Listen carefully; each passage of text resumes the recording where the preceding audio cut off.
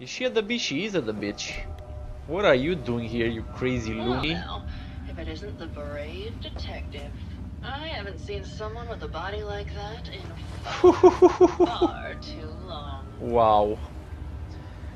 You're not so bad yourself. You're not so bad yourself. You should have seen me before every girl and legs for days, darling. I'm sure you'd rather hear some of my stories from the silver screen rather than talk about that nasty murder business. Ooh, I must say you're quite the actress.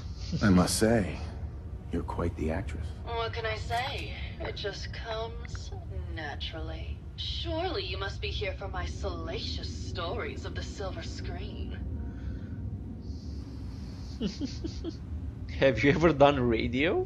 Have you ever done radio? Your voice is quite enchanting. Well, darling, play your cards right, and maybe I'll whisper some sweet nothings in your ear. Care to hear some of my stories, detective? I must say. I must say, I've known flesh and blood girls who aren't half the woman you are. Keep it up, Tiger, and we'll find out if you can handle how much woman I am. Care to hear some of my stories, detective? Nope, I'm just gonna flirt. Why don't we grab a bottle of wine and go watch the sunset? Mmm, sounds good, detective. What what what is going on? You're not actually gonna gonna do something here, are you? What? That was great, detective, but we probably shouldn't make a habit of this. Catch you What? later, Tiger. Wow. There, Tiger. Here for more stories about my acting career or something else? Did I just hump? Did I just hump? what the fuck? What just happened?